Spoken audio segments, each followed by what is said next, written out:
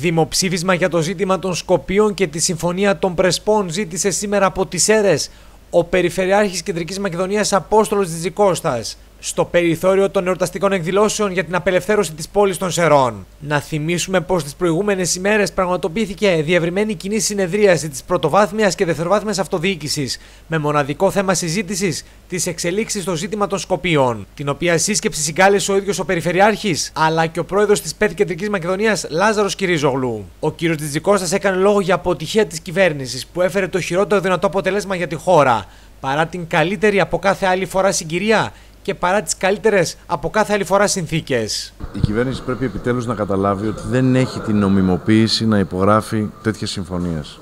Δεν έχει τη στήριξη του ελληνικού λαού, δεν έχει την έγκριση της Βουλής, δεν έχει καν την έγκριση του Υπουργικού Συμβουλίου. Καλό την κυβέρνηση να οδηγήσει τη χώρα άμεσα σε ένα δημοψήφισμα και όλες τις πολιτικές δυνάμεις να σταθούν στο ύψος των περιστάσεων και να καταψηφίσουν αυτή την κατάπτυστη συμφωνία όταν έρθει για κύρωση στη Βουλή.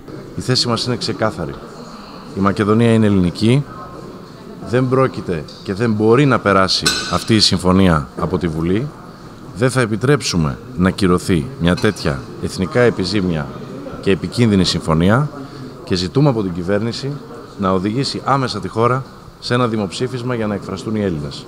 Με ποιο τρόπο δεν θα το επιτρέψετε; Εμείς ως αυτοδιοίκηση πήραμε την απόφαση να ενημερώσουμε όλους τους πολιτικούς αρχηγούς, την κυβέρνηση, τον πρόεδρο της Δημοκρατίας και να ζητήσουμε να ψηφίσουν όχι τη μέρα που θα έρθει κύρωση στη Βουλή.